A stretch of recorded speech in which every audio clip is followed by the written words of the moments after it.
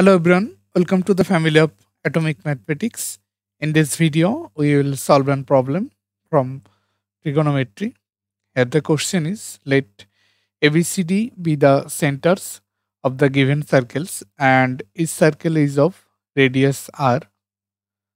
Then find the area of the shaded region. That means we have to find the area of this red colored region. So here we have four circles, each of radius are centimeter. And the centers are A, B, C and D. Now if we connect A, B, C and D, then we will get an A square ABCD.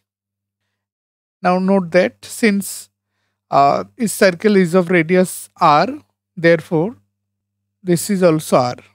Therefore, ABCD is a square of side 2r.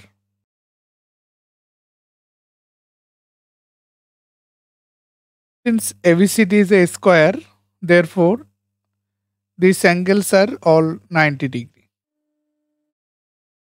Let delta 1 be the area of this region, this white color region and this angle is 90 degree and here we have the radius of the circle is r. Therefore, we can calculate the area of delta 1. Here we have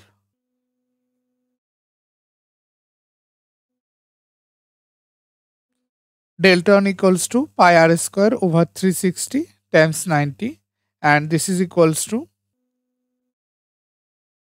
so here we have delta on equals to pi r square over 4 and if we take this area as delta 2, this one as delta 3 and this one as delta 4. Then we have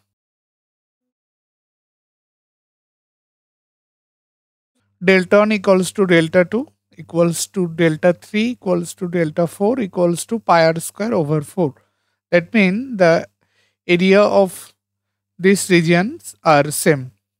Now, if we eliminate the area of delta 1 plus delta 2 plus delta 3 plus delta 4 from the area of the square ABCD, then we will get the area of the red colored region. So, here the area of the square is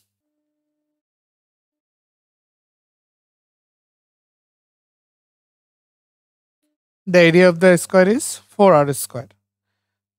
So the area of the red colored region is?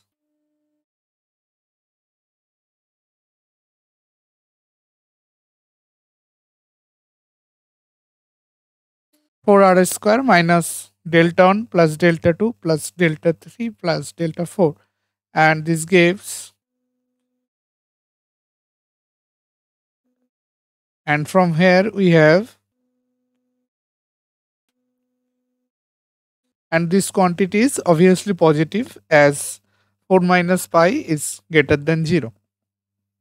Therefore, the area of the red colored region is r squared times 4 minus pi and we are supposed to find the area of the shaded region that means the red colored region and here we have r squared times 4 minus pi. So we are done. Thank you.